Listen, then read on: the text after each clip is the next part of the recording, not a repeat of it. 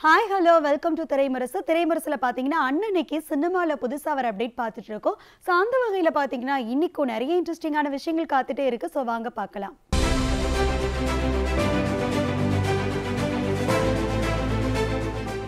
திரைமரசு நிகழ்ச்சியில முதல்ல நம்ம பார்க்க போற செக்மெண்ட் சென்னை அப்டேட் சினிமாவில் நடக்கக்கூடிய சில முக்கியமான நிகழ்வுகளை இந்த செக்மெண்ட்ல பார்க்கலாம்.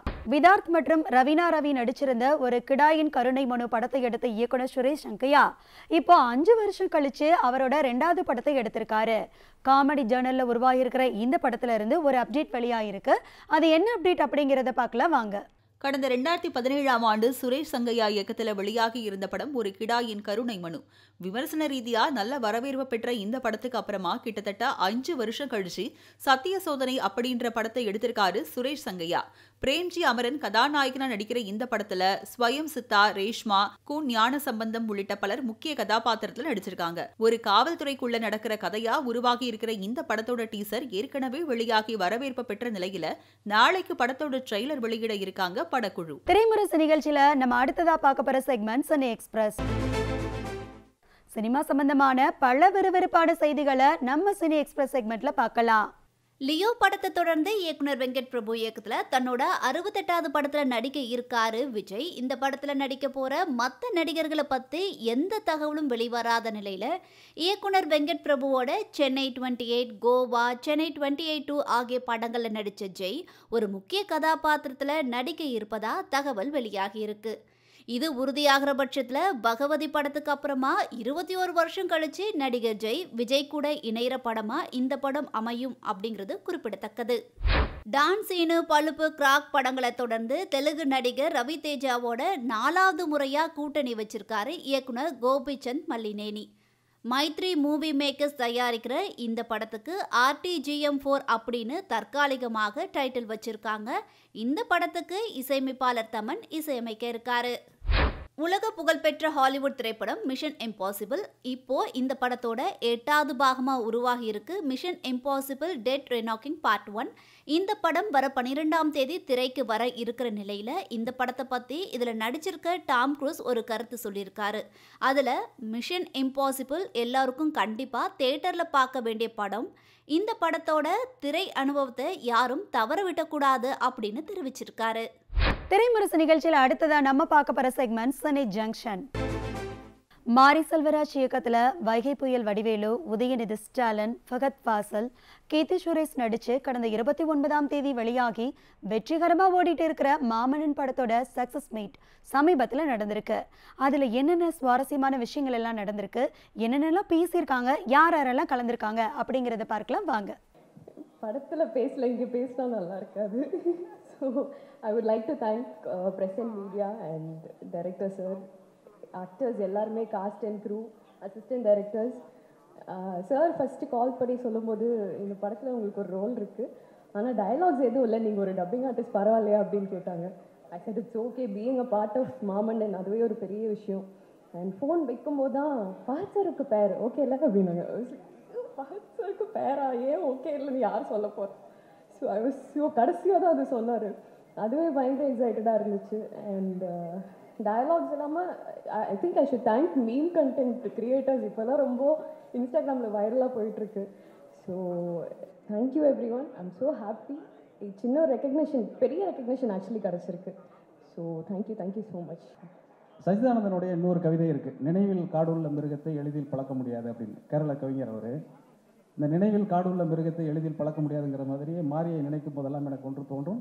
நினைவில் அன்புள்ள மிருகத்தை எளிதில் பழக்க முடியாதுங்கிற மாதிரி எப்போதுமே நினைவில் அன்புள்ளவன் மிகப்பெரிய இந்த வெற்றி படத்தில் ஒரு சிறு பங்களிப்பாக என்னுடைய பணியை தொடர்வதற்கு வாய்ப்பளித்த மரியாதைக்குரிய அமைச்சர் உதயநிதி அவர்களுக்கும் தம்பி மாரி செல்வராஜுக்கும் அதெல்லாம் விட தாண்டி எப்போதும் எனக்கு மிக மனதுக்கு நெருக்கமான நடிகர் வடிவேல் அவர்கள் அவர்களே ஒரு பாடலை பாடி நடித்ததுங்கிறது வந்து ரொம்ப பெருமைக்குரிய ஒரு விஷயம். என்னுடைய ப்ரொஃபைலில் தனியாக வந்து வைத்துக்கொள்வதற்கு ரொம்ப முக்கியமானது. என்னென்னா பாலமுரளிகிருஷ்ணா என் பாடலை பாடியிருக்கிறார் என்பதை விடவும் வடிவேல் அவர்கள் என் பாடலை பாடியிருக்கிறார்னு சொல்லிக்கிறதுல எனக்கு ரொம்ப சந்தோஷம். நேற்று தான் இந்த படத்தை நான் பார்த்தேன்.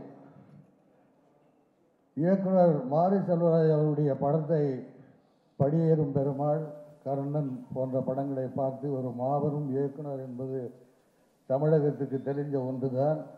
இருந்தாலும் இந்த படத்திலே ஒரு காட்சியை கூட அதை வந்து ரியலிஸ்டிக் சொல்கிறாங்களே அதை வந்து இயற்கையாக படம் எடுத்து ஒரு சிறப்பான ஒரு படத்தை தந்திருக்கிறார் இந்த கலைக்குலகத்திற்கு. மாமன்னன் கேரளாவில் நான் பார்த்தேன். பயங்கர ஹிட்டு சூப்பராக இருக்குது நான் இப்போ ஆக்சுவலி முதல்ல தேங்க்ஸ் சொல்ல வேண்டியது என்ன? முதல்ல தமிழில் இன்ட்ரடியூஸ் பண்ண சித்திக் சாருக்கு அதுக்கப்புறம் பெரிய ஒரு ஹிட் கொடுத்த லிங்கு சுவாமிக்கு அவருக்கெல்லாம் தேங்க்ஸ் சொல்லணும். ஏன்னா அப்படி தமிழில் வந்து ஒரு இன்னும் சில படத்துல நடிச்சனால தான் மாரி சாரோட ரெண்டு படத்தில் இப்போ எனக்கு ஒர்க் பண்ண முடிஞ்சது. அதில் கர்ணனில் எனக்கு பயங்கரமான ஒரு கேரக்டர் கிடச்சிருச்சு. இப்போது இந்த மாதிரி சார படத்தில் மாமன்னம் படத்தில் கூட. எனக்கு ரொம்ப நெருக்கமான ஒரு படம் இந்த படம். ஏன்னா இந்த படத்தில் பல புயல்கள் மையம் கொண்ட ஒரு படம். முதல்ல அண்ணன் வைகை புயல் வடிவேல் அவரோட எனக்கு முதல் படம். இசை அமைப்பாளர் இசை புயல் ஏஆர் ரஹ்மானோட எனக்கு ரெண்டாவது படம். அலைப்பாயுதே முதல் படம் அப்புறம் இந்த படம். இயக்குனர் புயல் மாரி செல்வராஜ் திராவிட இளம் புயல் உதயநிதி என் அன்பு தம்பி உதயநிதி அவரோட முதல் படத்திலையும் கடைசி படத்திலையும் நடிச்சாங்க எனக்கு அந்த பெருமை மட்டுமே போதும். இந்த படத்தை வெற்றி படமாக்கி உங்கள் ஒவ்வொருவருடைய எனக்கு என்னுடைய வணக்கங்கள். எல்லாருக்கும் வணக்கம். ரொம்ப சந்தோஷமாக இருக்குது இப்படி ஒரு வெற்றி விழாவில் நம்ம எல்லாரும் இருக்கிறது. Press and media thank you so much எல்லாரும் ரொம்ப நல்லா சப்போர்ட் பண்ணியிருக்கீங்க. Thank you and Mari sir thank you sir ரொம்ப சந்தோஷமாக இருக்குது இந்த மாதிரி ஜூம் கால் ஆரம்பித்து இப்படி ஒரு சக்ஸஸ் மீட்டில் வந்து பேசிகிட்டு இருக்கோம். Thank you thank you Uday sir and Shenbagamoorthy sir ஆர்வம் sir Vadivel sir Fahadh Arjun sir thank you எல்லாருக்கும் ரொம்ப ரொம்ப நன்றி. அவர்கள் இந்த கதையை நீங்கள் கேளுங்க. என்ன நீ சும்மா சொல்லுங்க அப்படின்னு. இல்லை இல்லையா நான் டைரக்டர் அனுப்புகிறேன் டைரக்டர் வேறு யாரும் மாறி மாரி செல்வராஜ் வரலாம் அவர் படம் பார்த்துருக்கீங்களான்னாரு. இல்லை இன்னும் சரியாக பார்க்கலண்ணே அப்படின்னு. அப்போ நான் நாளைக்கு அனுப்புகிறேன் இன்றைக்கி பார்த்துருங்கனால அன்றைக்கி நைட்டு நான் ரெண்டு படத்தையும் பார்த்தேன். சரி வர சொல்லுங்க நான் பேசிடுறேன் அப்படின்னா. அந்த வந்து என் கதையை ஒரு ஒன்றுன்னு சொன்னார். ஒன்றுன்னு சொன்னோன்னே எனக்கு ரொம்ப பயங்கர சந்தோஷமாயிடுச்சு நல்லா இருந்துச்சு அதில் உதவி சாருக்கு ஒரு ஃபாதர் கேரக்டர் அந்த கதையில் வந்து நிறைய நடிப்புக்கு நிறைய வாய்ப்பு இருந்துச்சு எனக்கு. முழுநில படமும் வந்து நகைச்சுவைக்கு வாய்ப்பு இல்லை. அப்போ நான் அவர்கிட்ட போய் சொன்னேன் உதயன்ட்ட. உதயன் சார் சொன்னார் அண்ணன் நடக்கும்போது கூட காமெடி இருக்கக்கூடாது. ஜக்குன்னு அப்படியே அல்லையே பிடிச்சிச்சு சூப்பர். இதை வந்து கீர்த்திட்ட சொன்னேன். கீர்த்தி இப்படி ஒரு சோதனை வந்திருக்கு எனக்கு. எப்படின்னு? உங்களால் முடியும் சார் இந்த படத்தில் நீங்கள் ரொம்ப முழுக்க முழுக்க சீரியஸ் இப்போ அருமையான கதை முழுக்க முழுக்கதை வந்து என்ன சொல்கிறாரு மறுபடியும் மாறி சொல்கிறாரு முழுக்கதையை நான் கேட்குறேன். முழுக்கதையை கேட்டோன்னே ரொம்ப சந்தோஷமாக இருந்துச்சு எனக்கு. ஆனால் இப்படி ஒரு கதையை இவ்வளவு பொருட்செலவு பண்ணி ஏற்றுக்கிட்டாரு அண்ணன். இது முழுக்க முழுக்க இந்த கதைக்கு பெரிய மாமன் யாருன்னா டாக்டர் மாரி செல்வராஜ் தான் இந்த படம் யாருக்குமே கடைசி படமாக இருந்தாலும் இந்த மாதிரி படம் உதயநிதி சாருக்கு அமைதியாக அமையாது. இந்த படம் பெரிய வெற்றி படமாக இருந்து எல்லாரும் கொடுத்தது இந்த மக்களுக்கு நம்ம வெளியே சொல்லணும். முதல் படத்திலிருந்து தொடங்கின இந்த பதக்கம் மூன்று வெற்றிகளை பார்த்தாச்சு மூன்று மேடைகளை பார்த்தாச்சு மூன்று படங்களுமே மக்கள் ஏற்றுக்கிட்டாங்க மக்கள் கொண்டாடிக்கிட்டாங்க. மக்கள் அங்கீகரிச்சிருக்காங்க. ஆனாலும் பதட்டம் போக மாட்டேங்குது. அதுக்கான காரணம் தெரில அந்த காரணத்தை தெரிந்து கொள்ளும் நாளில் நிச்சயமாக நான் வந்து ஒரு மன நிம்மதி அடைவேன்னு நினைக்கிறேன். ஃபஸ்ட்டு என்னோடய அசிஸ்டன்ட் டைரக்டரை நான் வந்து நான் கூப்பிடுறேன். உதய் சார் அவர் வந்து ரொம்ப நாளாக சொல்லிகிட்டே இருந்தார். உங்கள் உதவி இயக்குநர்களுக்கு நான் வந்து ஒரு பரிசு கொடுக்கணும் வெட்ஜைன்லேருந்து அப்படின்னு. அந்த பரிசு கொடுப்பதற்காக. முதல்ல நாங்கள் அசிஸ்டன்ட் டைரக்டர் டீமில் வந்து உதய் சாருக்கு ஒரு பரிசு வச்சுருக்காங்க.